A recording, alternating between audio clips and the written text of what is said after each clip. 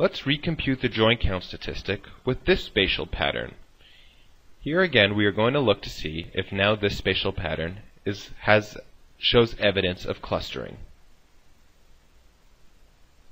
First of all, we are just going to state the null and alternative hypotheses. These are the same that we used before, since the alternative is that the pattern is clustered.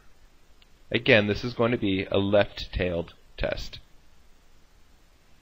In this case, the numbers of black and white cells have changed. It's now even between black and white. Before we had 7 and 9.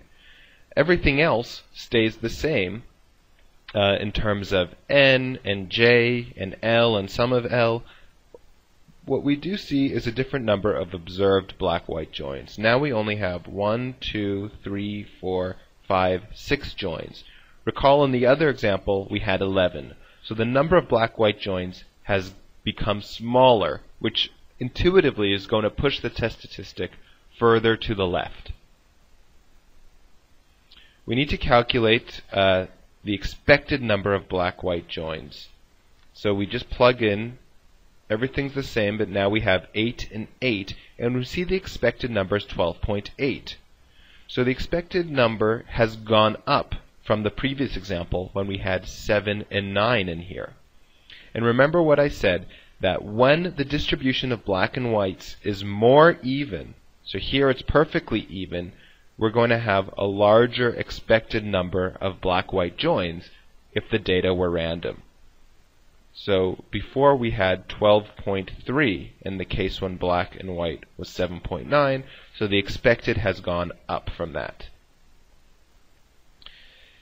We can recompute everything here using the new black and white, uh, new values of black and white to find that the standard error is now 2.32.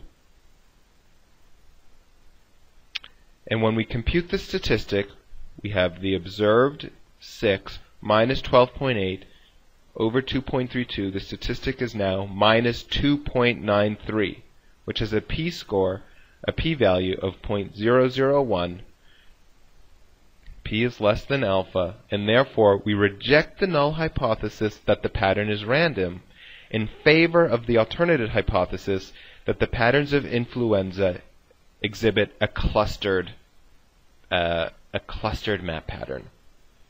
So in this case, we had a z-score way out over here at minus 2.93, and the area that was more extreme than this z-score so the area in here was just equal to 0.0017. And of course, we had a critical value over here, and the area to the left of the critical value was 10%, or 0.1. So of course we have p less than alpha, and we have to reject the null.